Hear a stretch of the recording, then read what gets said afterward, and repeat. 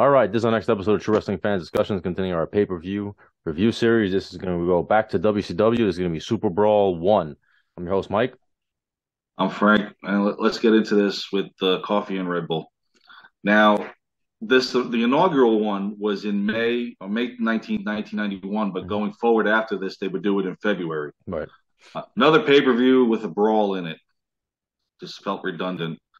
This to me, I thought back then, this was kind. I thought I thought this was kind of like their WrestleMania because on the Super Bowls they used the Roman numerals when Yeah, they it was- did it. Yeah, it's, it's supposed to be like, you know, their Super Bowl, you know, Super Brawl, Super Bowl. Yeah. Not quite, Yeah, but it wasn't. Yeah. In any event, you had Jim Ross and Dusty Rhodes doing the commentary. You also had Tony Schiavone and Missy Hyatt in in the backstage thing doing whatever it is they're doing. Uh, roughly 6,000 fans on hand in St. Petersburg, Florida. This was qu- quoted as the return from the rising sun. And this was uh, pretty much a revenge match from the main event, uh, dating back for a few months ago when they went to Tokyo between Ric Flair and Tatsumi Fujiyama. right. And Flair had lost. And then they changed it.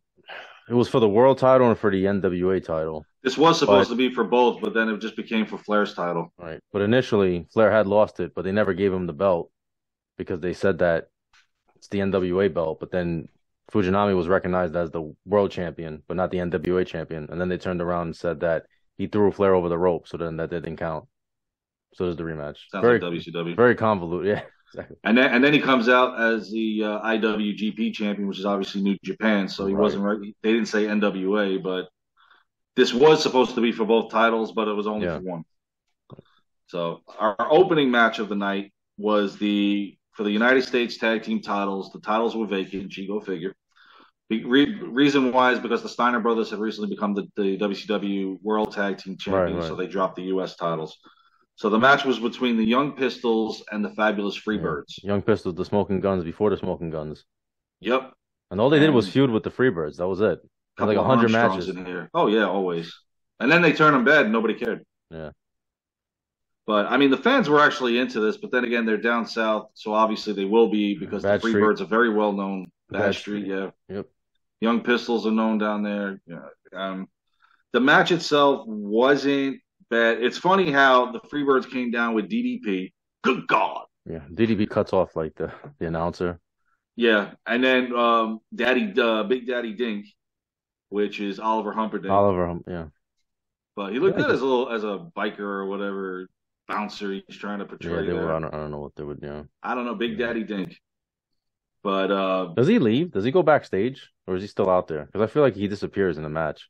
I never really, I didn't even I see him. Yeah. I think he, he was out there briefly. Right, right. I don't know.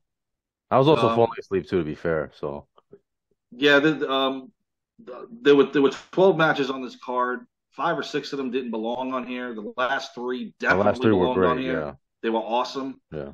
Um, and we have one stretcher match that wasn't even wasn't even a stretcher Right. match. Um, but yeah, I have to agree with you on that one. Now the Freebirds do win the tag titles because the referee uh, went down. Obviously, all of a sudden, here comes this person. I guess was called Fantasia. Fantasia. He he. They changed the name because I think they were scared they were gonna get sued by Disney. So they changed the name to Bad Street, I think. But it was Brad Yeah. Armstrong. For those that don't Yeah. know, it was Brad. It was Brad Armstrong. Coming and dress as like a, a bird or something. Like Gobbledygooker almost. yeah. I don't know. But um, yeah, he helped. Fantasia helps the Freebirds. They become the United States Tag Team Champions. Young Pistols get screwed over yet again. In any event, our next match was Ricky Morton versus Dangerous Dan Spivey, and this is Morton now trying to be a ta- uh, singles wrestler now because Robert Gibson had major knee surgery. He was out for a while, and so But Ricky they had the, uh, had to go into the singles. Uh, Was this before or after the Tony Schiavone Z-Man interview that I was just like, what's the point of this? Was it Tony That was- Schiavone that was after this match. Was after the oh okay. All right. Well I Oh yeah, now. when when they Uh, inter- when they interviewed Z Man uh, Yeah. on his injury and yeah. Missy Hyatt's drooling over there, It's like who the hell cares? What is this? Yeah. So anyway. And then on. they're talking about her doing another backstage interview, which again, who cares? Oh, She she you know she's all like, oh, where's Z Man in the shower? Like, whatever. This match was literally three minutes of Dan Spivey beating the crap out of Ricky Morton. yeah. He power bombs him, uses his boot for the pin. Poor Ricky one, two, Morton, three. man. Poor Ricky Morton. Well, I mean, this is the old man version of Marty Jannetty, in a way. He's not a singles wrestler, unfortunately, and and with his partner of Rock and Roll Express being out, it's either he does this or he has to sit out a year, yeah, and wait for Gibson to come back, and that's just that's not going to Morton. And then and they did the one thing no organization has ever done, and that's turn uh, the Rock and Roll Express against each other, and one of them heel eventually, yeah. which was the dumbest thing I ever seen. After this, yeah, they they interviewed uh, Z Man, which uh, you know he's coming back from his injury. Okay, good for you. Bye. Our next match was another. Why are we watching this? Tommy Rich, Wildfire, Tommy Rich, 1980s World Heavyweight Champion against Nikita Koloff. Now, I like Nikita Koloff. That was one big dude that could kick your ass. I, really like, and I love the, the Sting Koloff feuds that they had. When they turned him fan favorite, it, it took me a while to kind of like be okay with that because I always you know saw him as the heel and, and, stuff. And this was another squash match, four and a half minutes. The Koloff hits him with the clothesline or the Russian sickle, as they called it, and he pins Tommy Rich and Koloff's the the winner. And this is not the last time we're going to see Koloff for the night. Who was the one that, that came out with the Bears? It's later on in the card, right? The guy that was Big Josh. Doink. Yeah. That was that was Doink. Matt the, Matt Borne. And the bear starts pissing. yeah, the bear starts pissing at the end of the match. One of the bears. Welcome Circus, to WCW. And yet you don't want to do an ECW pay per view. Jesus Christ. My God. We got bears here, man. I'm surprised Bischoff or Jim Herd or, or whoever was running this thing at the time didn't have him in a tag match. Come on. Lord Jesus. Lord Jesus. Um, following the Koloff match, uh, Tony Schiavone interviewed Johnny B. Bad with Teddy. Long. This was the this was his debut, introduction right? of him. Yeah, Little B. Richard bad. was kind of bad. Too, too, much makeup on the face. No, really, this yeah, was yeah. really bad. That was Dusty's idea too. Dusty said, "Oh, doesn't he look like Little Richard?" And then they're like, "Yeah, yeah that's a, that's what I always thought watching him." But it never made sense to have Johnny be bad, no pun intended, be bad. It didn't. Make, yeah, he, he was, was better a, as a he was a heel. Yeah, he was better as a fan. I like Johnny. He was bad, flamboyant. This was, yeah, this was early Johnny. This was his debut. Was, I thought it was terrible. He said something really weird too. He said something like, "I'm so pretty that I should have been born a little girl." I'm like, it's kind of creepy, man. Yeah, he started pulling off some Goldust vibes there for a minute. Uh, I, am like, dude, this is your first promo, and you're killing yourself with this. Yeah, and the fans didn't care either. Well, they didn't even know him. Yeah, so. That was the problem.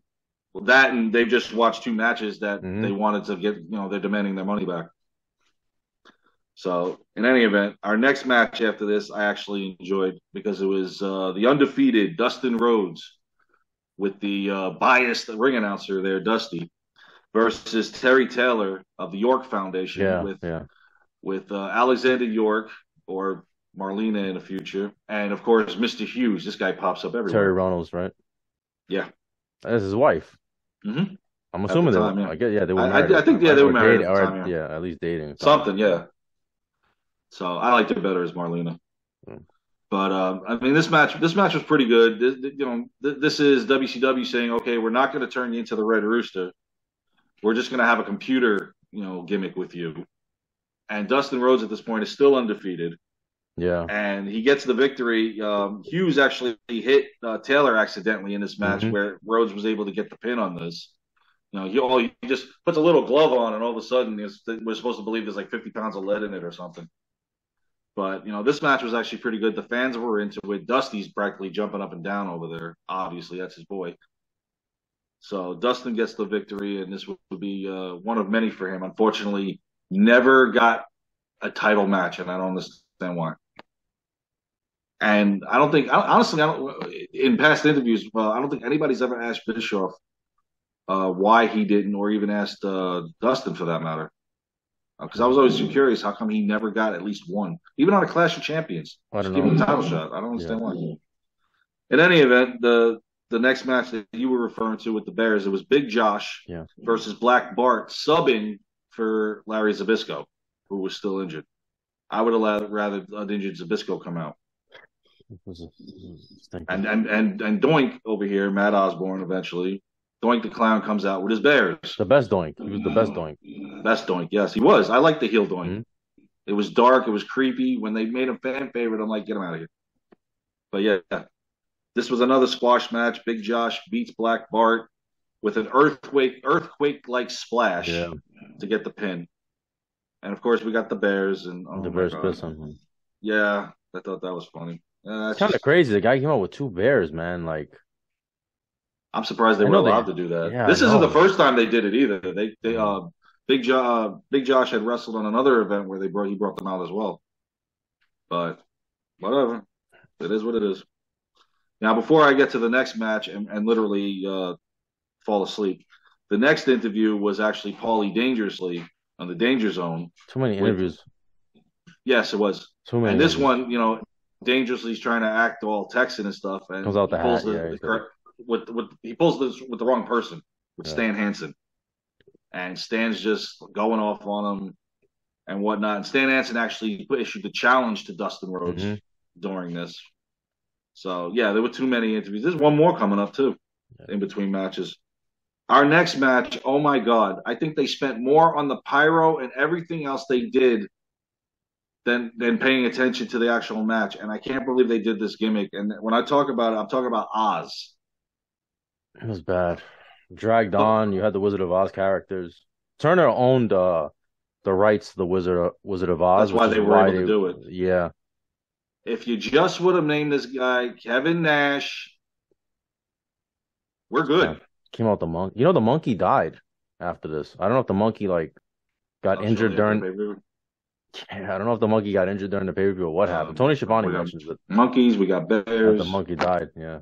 They, they're trying to be WWE at this point because we got parrots, we got snakes, we got Harlem Street rats, but here we got bears and dying monkeys. They keep saying "Welcome to Oz" or something like that? Yes. Welcome to Oz. Welcome to Oz. Yeah. Nobody cared. The crowd was like silent. Like they was looking booing around too. like, who the hell is he? I think they might have booed too in the initially. They did. know. It's bad. Could have sworn I heard a boring chant too. But I mean, it was. The whole gimmick was crap. Stupid. Everything they did with Kevin Nash in the beginning was garbage. No wonder he got he asked for his release and they gave it to him. And then the right guy made him, which was the Vince McMahon. If you just would have named this guy Kevin Nash, as far as uh, a, big seven foot guy, a powerhouse that could go toe to toe with guys like Vader or Ron Simmons or Sid Vicious, then you've got a main eventer that, that for a long time. But Yeah, you you you get a Master Blaster, Oz, and and Vinny Vegas. Vinny Vegas was the best of the worst. It was. Yeah. I got to agree because it was actually Nash act, kind of acting like himself, Yeah. doing the Vinny Vegas gimmick. But I mean, this was literally a 26 second match against Tim Parker. See you. Yeah, goodbye.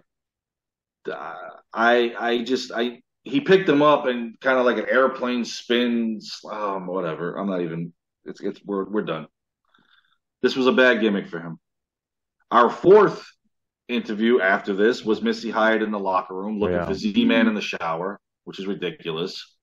If she finds Stan Hansen again, Well, before that, she was talking to Terry Taylor. yeah, and he's like, I could care less if he's in there or not and whatnot. Oh, I'm sorry. There's one more interview after that too. Yeah, there is. well, um, Diamond Stud, which I thought was pretty cool bringing him out. In any event, the next match was a taped fist match with uh, Flying Brian Pillman against Mhm. Barry Windham. This was actually a decent match between the two. And you know, it was a six minute match. They had to get these moving along because you know you got the you got three title matches still to come, plus a cage match. And so superplex from, from the top rope was the pin for Barry Windham over over Flying Brian. Uh, and that's it. Barry Windham gets the victory. Now our next match, uh, following that was Diamond Dallas Page interview. Uh, now I noticed they mentioned uh, it was supposed to be the Diamond Exchange, but he says Diamond Mine, and I'm like, huh, NXT in the future hmm because they had. I don't even know if they still have it anymore because I barely watch NXT. I did. I did watch last night's event, but the I don't even know if the Diamond Mine still exists. But um, he had the newest member of the Diamond Exchange. Good God, the Diamond Stud Scott Hall. Scott Hall was huge too. Yes. And again, if you just use him as Scott Hall, I mean, we don't know from watching it live back then. We can't see the future that these guys are going to be icons of the business. Right? Yeah. You don't see it. But you look, I see this guy uh, uh, as tall as these two guys are, Hall and Nash, and you're giving them stupid gimmicks. Meanwhile, honestly, I saw a main event there in both of them. You you put the right gimmick on them, not something stupid, hmm and you've got something made here for Chad. Because the one thing really they're lacking, with the exception of Flair, Luger, and Sting at the time, is main eventers. Mhm. That that's what they were lacking. I mean, Ron Simmons is on his way up, but for the most part, from '91 to '93, you were lacking main eventers, and that's what they needed for the championship belt. I mean, hell, you don't have that, and the guys like Barbarian get a title shot. So now the next match didn't make any sense. Now it was a stretcher match. They said in order in order to uh, win, your opponent has to be put on a stretcher. Correct? I, I did hear that right because I had to go back a few times. Reason why I'm saying this is because when El Gigante beat Sid Vicious, he never went on a stretcher. I think he just gets up and leaves too. I think he's not even. Yeah, because this was Sid's farewell. This was it for him. He was done, and you could tell it was a, it was a two minute squash match. They just couldn't work two. together either, though. Those two guys, they're too big. They just didn't. They, the styles didn't mesh. Now, now, anytime we've ever watched a stretcher match, I mean, according to WCW rules, you had to be put on a stretcher and gone over a certain line. El Gigante used his iron claw to get the pin on Right, I Vicious, mean, and then following that, Kevin Sullivan and the one man gang come down, and they're they're beating up El Gigante, and you don't even see Sid anymore. There, there's nothing just involved with a stretcher. Yeah. he just left. Now in the beginning, El, you see El Gigante brings the stretcher down with him, but then after that, they're putting El Gigante on the stretcher, and then he gets back up. Nothing had nothing to do with a stretcher in this match, so it's just confusing to me. Like, okay, your stipulation didn't even happen here. But again, Sid is one foot out the door at this point because a couple of months later, you know, a month and a half later, we're going to see him in WWE. So I just I think the, the execution on this was way off, especially when you have a stipulational match that didn't even exist. hmm Now, our next match I, I thought was pretty cool. There's a steel cage match with Teddy Long in that shark cage above the ring. It was Ron Simmons versus his former tag team partner, Yeah. the natural Butch Reed. No, he wasn't. to- He, he wasn't. He was Hacksaw Hacksaw Butch, Butch Reed. Reed. And I, I like these two. Uh, t- I like them as a tag team. I've said this before. I thought they were underrated tag team. When they feuded together, I thought it was even good too because they brought out the best in each other. And this is now Ron Simmons moving on to singles competition, and we know where that's going to lead to. But um, I um, the, the cage in this thing was is like half put together. It just it looked like crap. Um, Teddy Long is suspended above the ring. He throws a chain down that Hacksaw doesn't even get to use. Yeah. Well, I mean, he does, but it does. It doesn't even matter because Simmons pin. Uh, well, I don't even honestly. I don't even remember. That's that's uh, just the again the poor execution on This this wasn't a match. good match. Yeah, this wasn't a good match. No, it could have been better. Simmons wins with the spine buster. I love how they both come out to the same entrance music. You know, Doom's music. Doom versus Doom. Yeah, this was the uh, what they call it, the Doomsday Cage, or the Doom's Cage, or something, something to that effect. They use the name of the tag team in, involved in the match, and so, but Simmons gets the victory, and we know, like I said, we know where he's going to be elevated to eventually. Which Mhm. I even think, and I've said this in WWE, I don't think they should have gone with a Farouk gimmick. I think they should have just gone with Ron Simmons, regardless if you're going to do Nation or whatnot. And I think he should have been a main eventer there too. That's just my opinion. Now our next three matches, oh my god, they tore the house down. They actually kept the the fans from leaving. The WCW tag titles on the line: the Steiner brothers versus Sting and Lex Luger. They showed a video Four, package. four friends here. Uh, a lot of respect with all of them in this match. And this was actually a pretty good match. It went Mhm. back and forth, back and forth, knockdown, drag out. Baby faces versus baby Yep. faces. Um, what's funny is uh, toward at the end of the, towards the end of the match, I uh, Nikita Koloff comes out. Yeah. Uh, Sting sees him. He's heading for Lex Luger, but Sting pulls him out of the way. Sting gets hit with the Russian sickle, busts him open because apparently he has the chain in his hand, and uh, that's where the Steiners got the pin. And Sting, of course, is irate. He's busted open. He's looking for Koloff. Uh, they fight in the back, and he finally finds him. The Steiner brothers keep the tag team titles, but I mean, overall, this match was, was pretty good. It was Yeah. a little short for my. I just didn't like the I just didn't like the ending. The the match With was great. Koloff. But, yeah, I didn't. But I mean, I guess they were in a bad spot. Like they can't really let The All Steiners go four guys have huge, right? huge momentum. They're all yeah, they're all. you got Luger, that's the United faces. States champion. Yeah, You got Sting, who's Sting, and then the Steiners. They're all Yeah. on a huge momentum. I always like Sting and um and Luger together. They were a great tag team, and they were they were friends in real life too, and you could tell. There was another Super. Brawl uh, where they got the tag title match uh, against the Road Warriors, and that was where Luger was kind of turning heel, but he was still with Sting. Yeah. And it's funny because the next Super Brawl that we'll be doing, the main event, is Sting and Luger. Yeah. So they always worked good together and against each other. Right. They always had uh, the good chemistry there. The next match after this was for the television championship. It was Arn Anderson defending the title against beautiful Bobby Eaton, going after his first major uh, singles title. Mhm. He got all the tag belts with the Midnight Express. Now he was in the pursuit for Beautiful his first. Bobby. And this match was another great one. Mhm. The two of them brought the best out of each other. Arn Anderson was always a good uh, ring technician. Yeah, of course. You know, he loved working, especially loved working with the younger guys to develop them. We've we've commented on what he's, he did with the Rockers when he was in WWE. Um, he hit the Alabama Jam for the pin on this one, and um, got the victory over Arn Anderson to get the television title, and this is his first title. So, congratulations to Bobby Eaton on this one.